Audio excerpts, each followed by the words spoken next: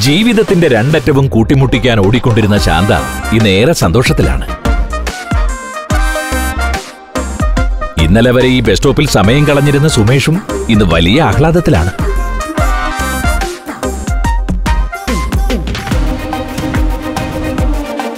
പ്രവാസ ജീവിതം കഴിഞ്ഞ് നാട്ടിലെത്തിയ നമ്മുടെ ഖാദർ കോയയും ഹാപ്പിയാണ്.